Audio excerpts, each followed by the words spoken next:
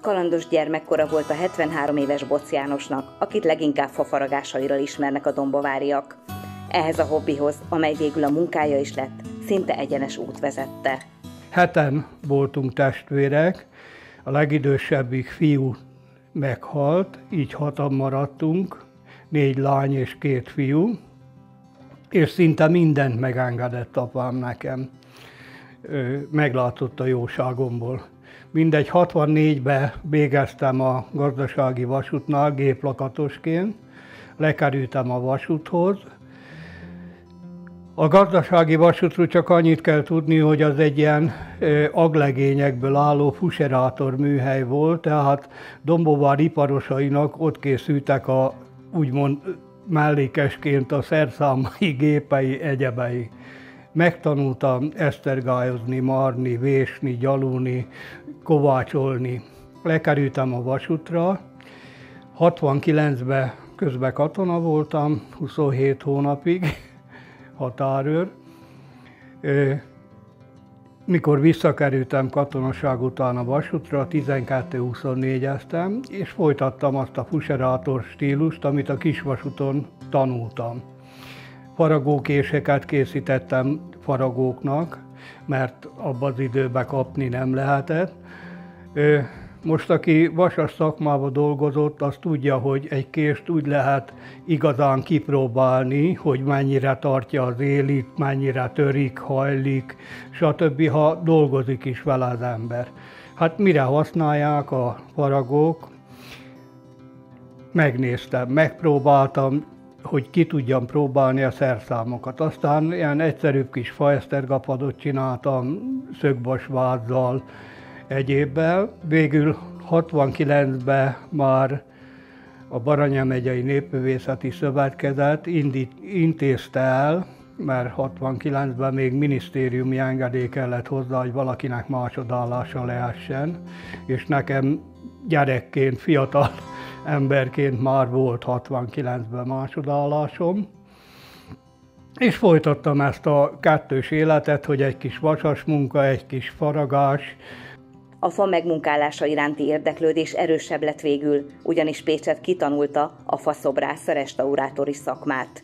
Korábban monumentális munkákat végzett, szerte az országban templomok, székesegyházak oltárait restaurálta, ezzel párhuzamosan szobrok faragásába is belefogott. Készült olyan 5-6 darab szobrom.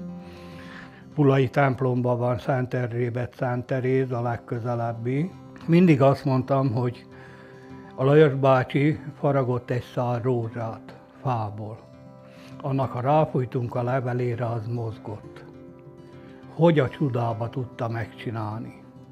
Nekem se árult el kedvenc tanítványának, de ő azzal szokott dicsekedni, hogy ilyet csinálj. Egyszer csinálj egy ilyet.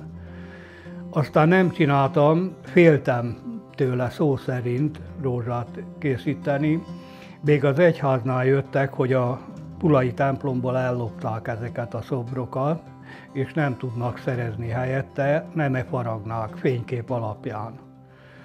65 centisek egyébként. Mondom, meg megfaragom, de hogy a rózsacsokor, mert a Szent Erzsébet ugye kenyeret vitt a szegényeknek, azt a férje, amikor el akarta kapni, akkor rózsával változtatta, tehát a kötényében rózsacsokor van, és a kezében van egy szár rózsa és én megfaragtam azt a rózsát úgy, hogyha ráfújnak, megmozdul.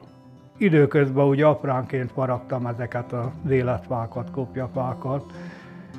Mindig azt mondtam, ingyen faragtam. Megvásárolták a fát, és nekem megtiszteltetés volt, hogy engem kértek fel arra, hogy egy Iés Gyuláról, egy Fekete Istvánról, ugye a Bukka hadd nem mondjam, tehát az én világomról írta Fekete István, a, a szabad életről, a, a mocsár világról, a, a hegyoldalakról, egyébről. Boc János az egyházi megbízások után több játszótéri elemet készített iskolákba, óvodákba, amelyek igazán időtállóak voltak. Szoros együttműködés jellemezte a helyi madártani csoporttal is, a tüskei madár várta fa munkáit is ő készítette. Én elköszöntem tőlük, amiben a az Egyesület igazgatója, amúgy a belvárosi iskola volt igazgatója, a Nagy Sándor, mondta, hogy ez nem úgy megy, ő nekik kell elköszönni tőlem. Rendeztek egy nagyon szép műsort számomra, ami érdekesség valahol itt van. Egy üveg bort kaptam és egy könyvet, de kijöttek a könnyeim, mert akkor mondták, hogy a 36 év alatt a legtöbb támogatást azt tőlem kapták. Mindegyik munkámra büszke vagyok, mert mindegyiket megpróbálom a technikai és elméleti tudásom szintjén maximálisan megcsinálni. És a pedagógus gyerekeim mondják ezt, hogy apu kevésbé kellene maximalistának lenni. Mert ha elkészül is egy munka, amikor elkészül, akkor már nem tetszik. Nem így kellett volna, nem úgy kellett volna, másképp kellett volna ö, megoldani. Azt eltelik egy-két év, akkor mondom, hogy te vé hülye, hát ezt is te csináltad, ö, erre büszke lehetné azért. A művészeknek szükségük van példaképekre. Bosz János három-négy hozzá közel álló személyt is megnevezett. Tehát volt a Szekeres Pista bácsi népművészmester, pásztorfaragások, csontfaragásokat készített, ahhoz készítettem neki szerszámon. Aztán Kurdon volt az Őri Szabó Dezső, ő is népművészmester, ő, ő református pap volt, főállásba, mellékesen faragott, és volt a Balázsi Gyula, akit Dombováron istenítettek, népiparművész és népművészmester volt, Végül is ő mondta, hogy gyerek, nem vagy te hülye ehhez a dologhoz, miért nem faragsz? Akitől én iszonyatos sok segítséget kaptam, az ott van leírva a könyvben, Exner Lajos, faszobrász, ő volt a gyakorlati oktató a képzőművészetibe, ő fantáziát látott bennem, mert kétkezes vagyok.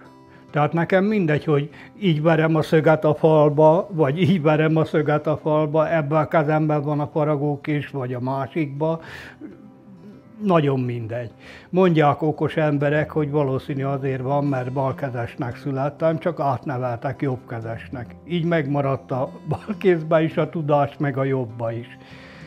Lajos bácsitól nagyon sokat tanultam, a mai napig emlegetem, ugyanis egy fiam és egy lányom van. A fiam szépen farag, ő elleste a szakmát, sose tanítottam. És nekik szoktam mondani, hogy a Lajos bácsinak több tudás volt a kisujjába, mint amit én most 73 évesen tudok. Még a legnagyobb művészekről, tudósokról is kiderül, hogy nem voltak eminens diákok. Nem ők voltak a legjobbak a szakmájukban.